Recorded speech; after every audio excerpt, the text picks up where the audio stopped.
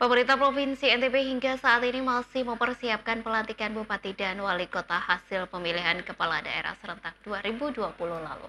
Rencananya pelantikan Kepala Daerah akan dilaksanakan pada tanggal 17 Februari mendatang. Akan dilakukan pelantikan pada tanggal 17 Hal tersebut disampaikan Sekda NTB Haji Lalu Gita Aryadi yang menyebut pihaknya saat ini tengah mempersiapkan pelantikan Bupati dan Wali Kota hasil pemilihan Kepala Daerah serentak 2020 lalu yang rencananya pelantikan kepala daerah akan dilaksanakan pada tanggal 17 Februari mendatang.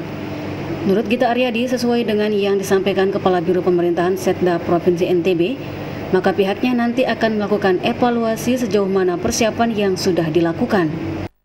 Pelantikan kepala daerah kan sudah uh, apa statement karo uh, pemerintahan ya. Mm-hmm. Ya, terus dipersiapkan dan nanti kita evaluasi uh, akhir yang jelas uh, provinsi sudah rapat dengan uh, kabupaten kota yang uh, akan dilakukan pelantikan pada tanggal 17 uh, itu perkembangannya sambil menunggu lebih lanjut dari uh, arahan dari Kemendagri.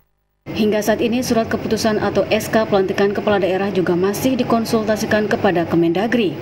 Meski ia juga belum bisa memastikan apakah pelantikan akan dilakukan pada tanggal 17 Februari nanti. Untuk saat ini ada empat kepala daerah yang sudah dipastikan akan dilantik, yakni Kota Mataram, Lombok Utara, Sumbawa Barat, dan Dompu. Sedangkan di tiga daerah seperti Lombok Tengah, Sumbawa, dan Bima masih menunggu keputusan hasil sengketa di MK. Sementara itu mengingat kondisi saat ini masih mewabah pandemi COVID-19, maka prosesi pelantikan tentu sangat berbeda dengan tahun-tahun sebelumnya. Maka pelantikan direncanakan akan diselenggarakan dengan beberapa pola, seperti pola hybrid dengan menghadirkan kepala daerah secara langsung atau dengan pola virtual. Maisarah, Lombok TV, Mataram.